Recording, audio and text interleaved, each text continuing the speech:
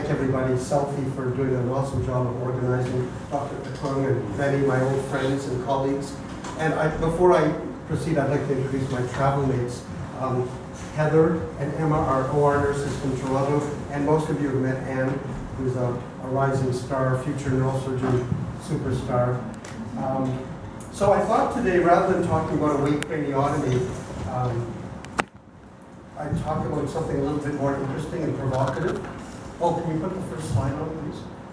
And it's about decision making. This morning at rounds, a number of you presented cases, and I asked questions about why did you do this, why didn't you do that, what was your decision making process. So how do we decide what the best thing to do is? When an epidural hematoma comes in in the middle of the night and there's a little depression, how do we decide what the right thing to do is?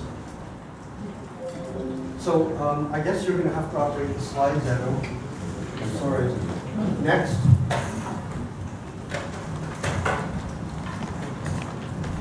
I'll just wait a second.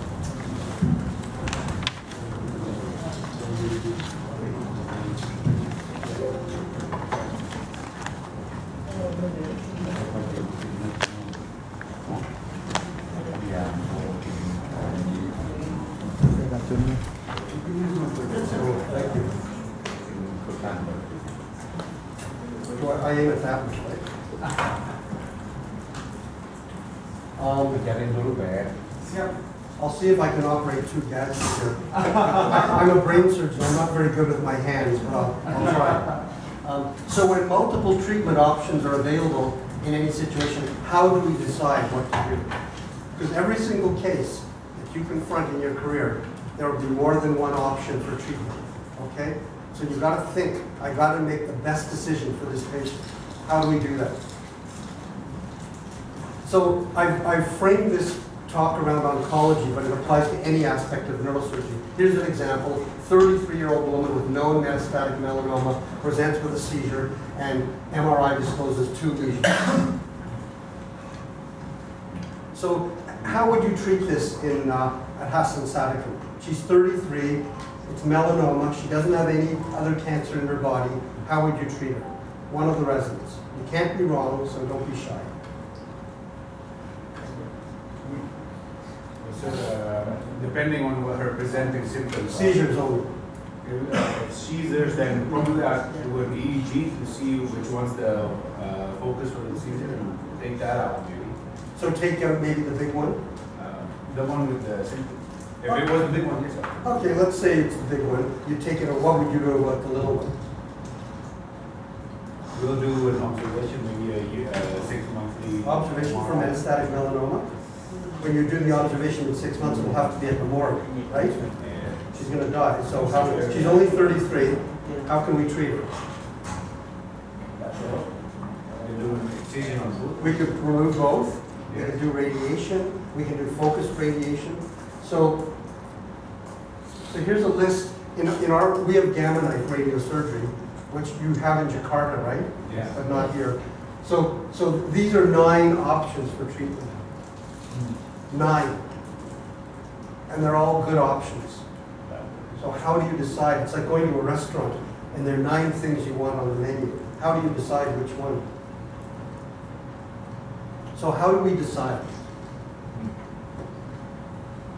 What guides our decision making?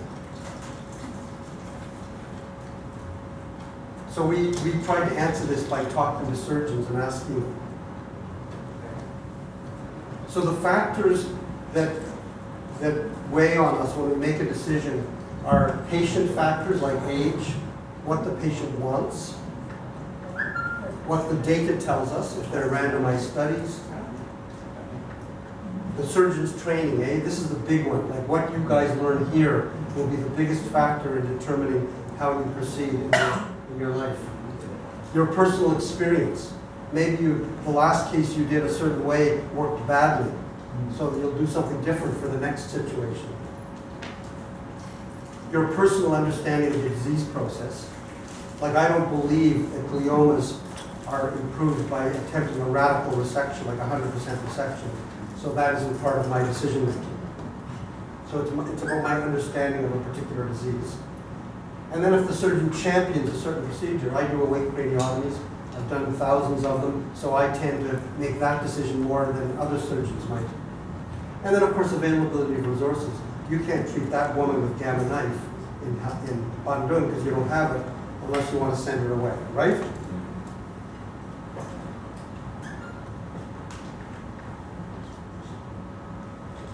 And then biases. We all have biases. We come to work with biases every day. So let's talk a little bit about biases. These are really important for you to be aware of. So I'm just going to spend a minute on each of these types of bias. You may, some of you may have heard these expressions, some of you may not have heard these expressions, but there is a literature on bias. So premature closure bias refers to, this is the most common type, it occur, occurs when physicians jump to conclusions and do not consider other possibilities. And closure in the title means closure of the mind. You Premature close your mind. You know, a patient with melanoma comes in, you see it, they have a seizure, you see a spot on the brain, you say, oh, it's metastatic melanoma. But in fact, it's a tuberculoma because you didn't consider all the options. So here's an example. A woman with a long history of migraine complains of severe headache and her doctor jumps to the conclusion that she must have just had another migraine, but he actually ends up having a brain tumor. So the, the doctor closed their mind after they heard the diagnosis of migraine. They need to keep their mind open, okay? And one disease does not define a patient. Attribution bias involves a negative stereotypes that lead clinicians to ignore the possibility of other serious diagnoses. A known drug user complains of back pain and is assumed to be seeking drugs, but he actually has a lumbar tumor, which is missed. Again, so the doctor jumped to a conclusion.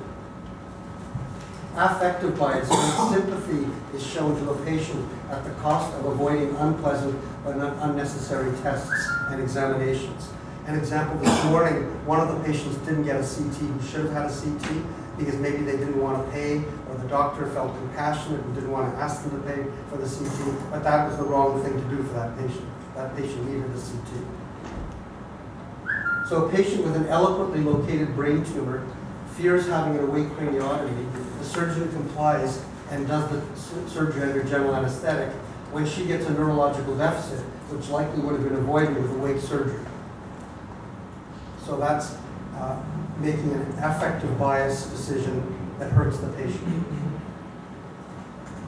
Availability bias. This occurs when a clinician's recent experiences guide him or her to overestimate or underestimate the probability of a disease. And availability refers to the availability of a memory in your brain.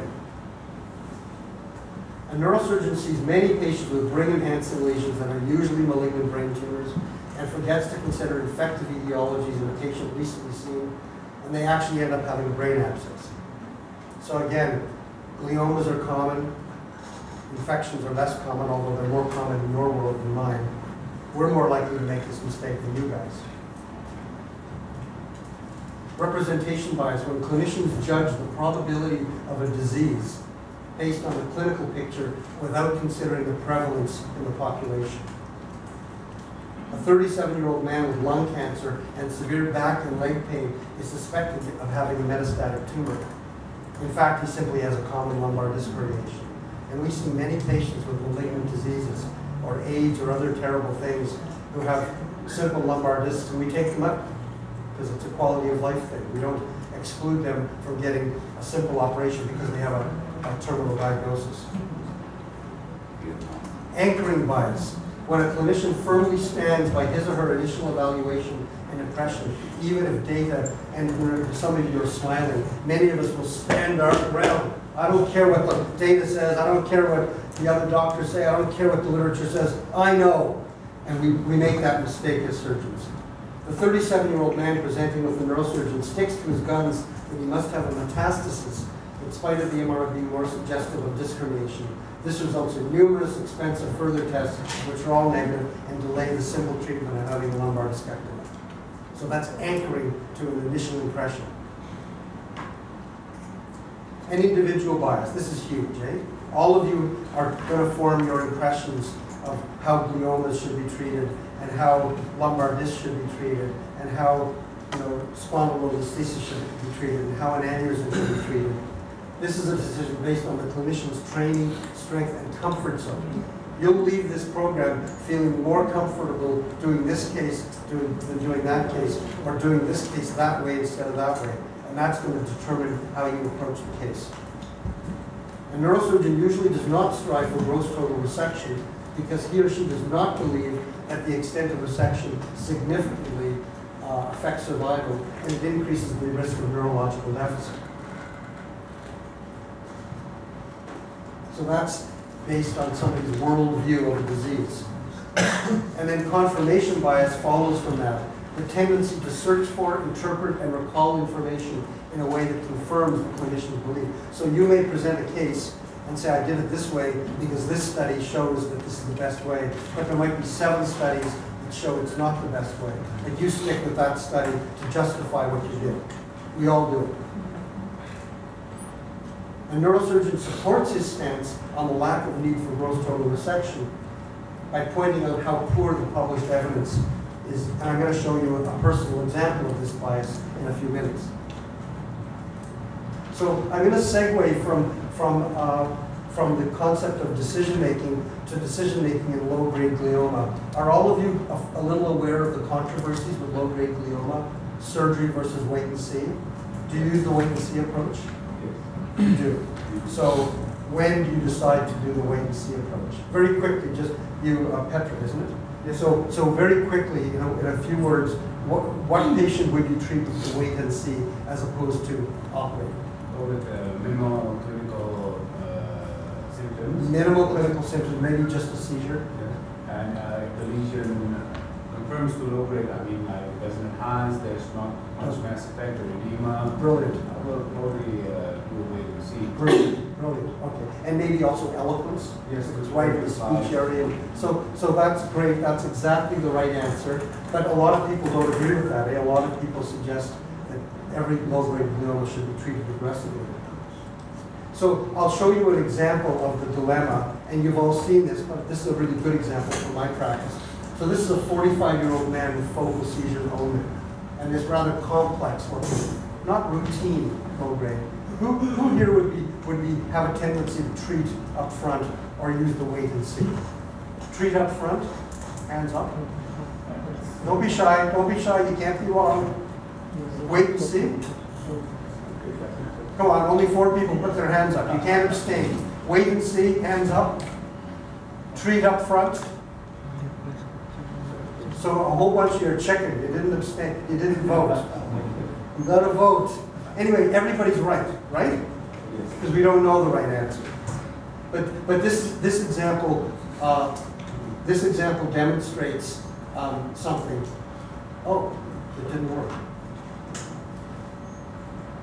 Oh dear, something happened.